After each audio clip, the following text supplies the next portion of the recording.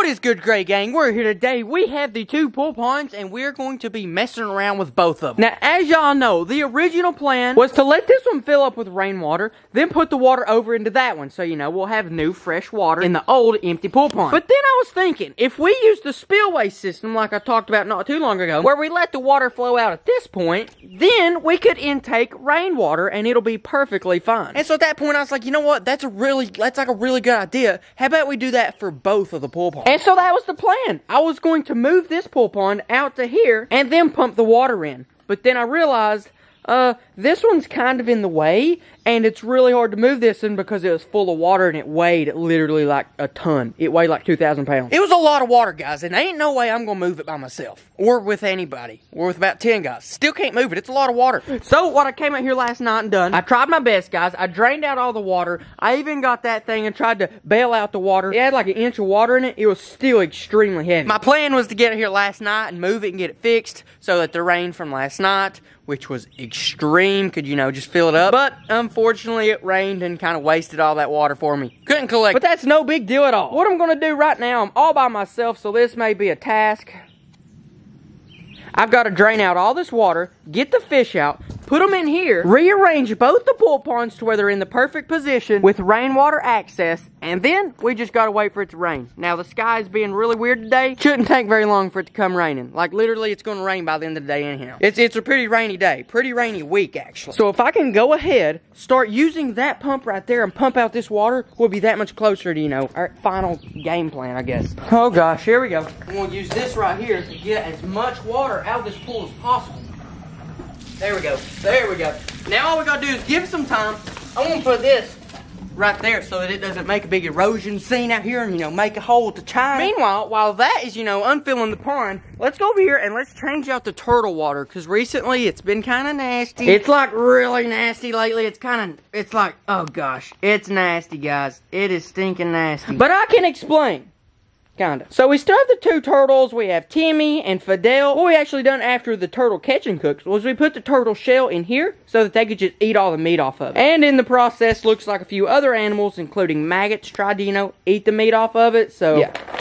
Kind of nasty, but that's okay because we're actually going to change out the water right now. This is nasty looking pool pond. But that's okay because it's a turtle pond. And turtles, well, turtles are pretty nasty animals. Let's just make sure not to lose any of the turtles.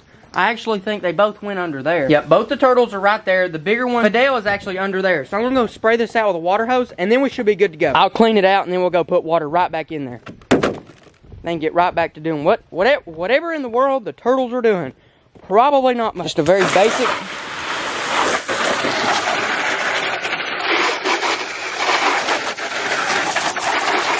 There we go. That should be good enough. Dump out that water, come right back over here, put new water in it, put the turtles back in it, and we are good to go. Oh gosh, it does stink bad though. Um, where did Timmy go? Here's Fidel. First we'll put Fidel back in there. Now we have to, Timmy, where are you going? Get over here, you little rascal. You little rascal. You. We'll give him the castle back. We'll give him this big rock. And to be completely honest, I think we'll go ahead and give them the turtle shell back. It's looking pretty cool, guys. I mean, let them eat out of that hide under it. That's fine for now. Now let's just head over here get this big bucket of water. This should fill up their pool pretty much.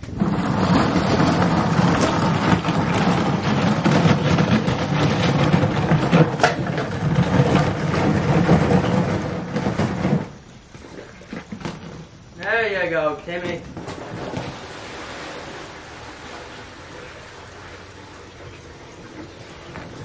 Have fun in there.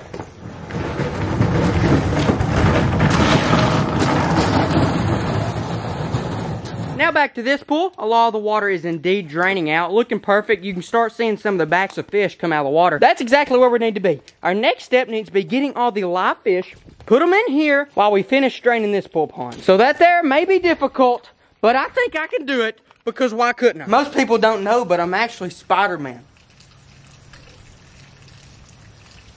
I'm just kidding. What the world, dude? There is no way that just happened to me. It did not. It just happened again. I am about to walk out.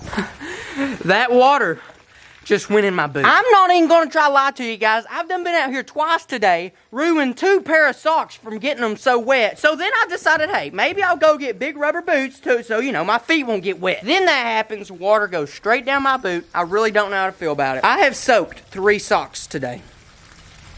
That is not okay, guys. That is not okay. Oh my goodness. Let's go ahead and get the fish out. Come on now. Y'all don't have anywhere to go now. Don't even try to run. You can't go. You have nowhere to go.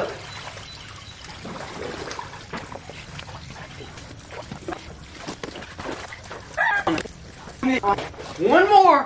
One more, and I got them all in the same net. Well, I got all of them but one. I don't know how good y'all can see that. I got most of them, though. Probably about, I don't know, quite a few fish. For now, we're just going to dump them in here, though.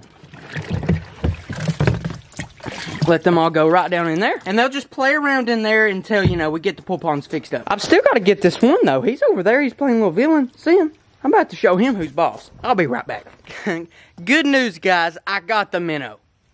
It may or may not have included jumping in the pool pond and stepping on him. But he is alive, and I have some very bad news. The rain is already coming, and the pool pond is not being, it's not moved. That's not okay, guys. This is not okay. It's still too heavy for me to move on my own. It's, oh, snap, dude. The water's coming down. It's going to fill it up faster than I can take it out. This ain't going to work, man. This ain't gonna work. I've got to pull out my super strength or something, just yank that sucker over. I'm gonna see what I can do. If it starts raining too much, we're just gonna have to call it a day, because I can't let the camera get wet. It's now or never. I've got to yank that sucker over here. And I better start yanking it pretty quick, too. Oh gosh. Here we go. Oh, come on.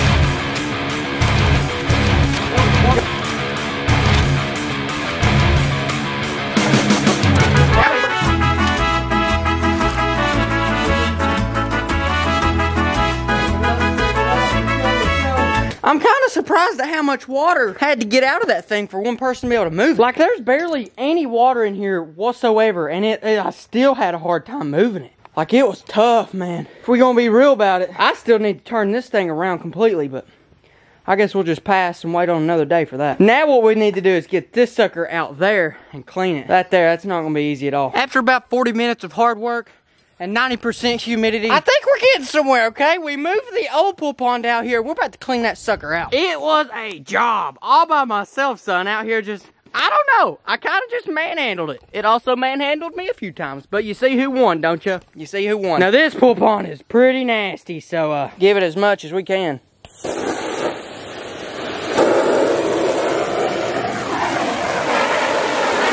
Oh, God.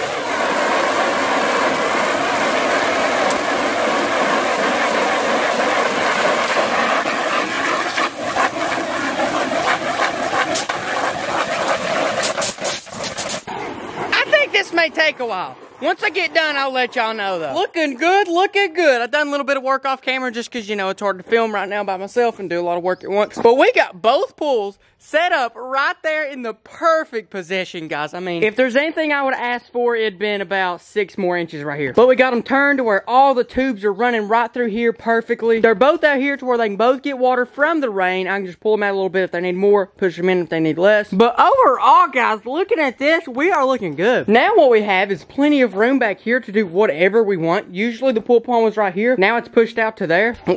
we have two pool ponds side by side. This is the new one.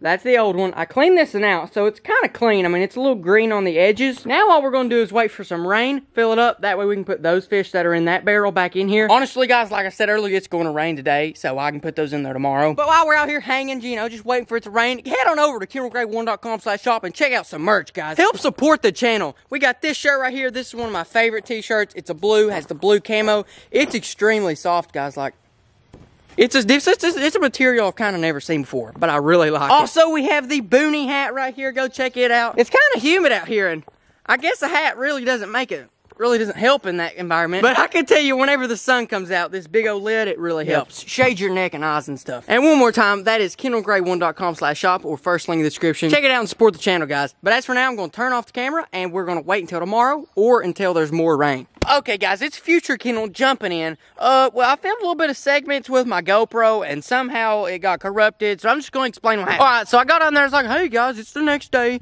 I had some bad news. So remember earlier in the video how it was supposed to rain that evening?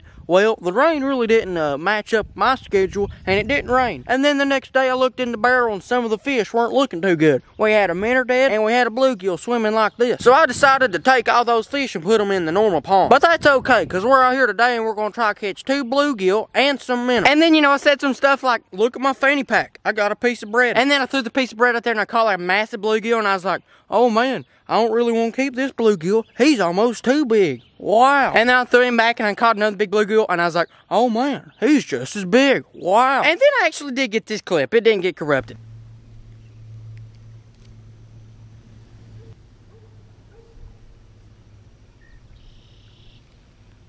There he is. All right, we're keeping this guy no matter the size.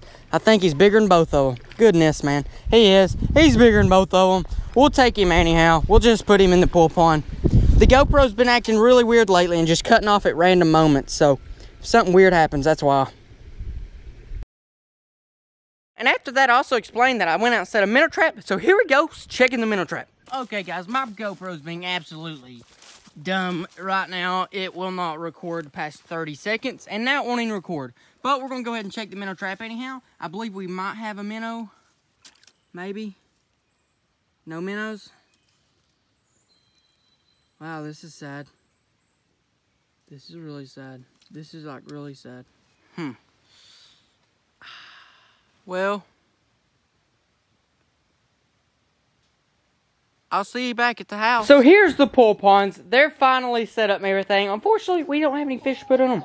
I mean, look at the water. We had about four inches in it. I figured that'd be enough for a few small bluegill and some minnows until, you know, it rained in about a week. And here in this one got about the same amount of water. No fish in either one of them. Well, now we have no fish in our possession at all.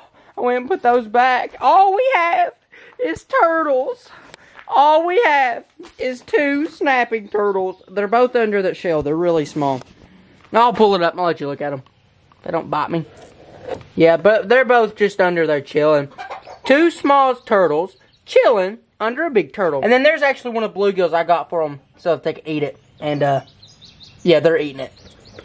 Pretty good. We'll just set the shell right back on them. Let them do their thing. Honestly, guys, I don't know what's going on. I mean, I guess we'll wait until this thing, you know, fills all the way up before we put fish in them. But I want you guys to decide what goes in these two ponds. Last time we only had one, so we basically put everything in it. But now we have two. We can split it up. We can try new things. We can move them back and forth. I want to know what you guys want me to put in each of these ponds. So I'll tell you what, just go down in the comments. I rolled up my sleeve. I, I, I had a turtle pee on my arm, so I'm letting that dry.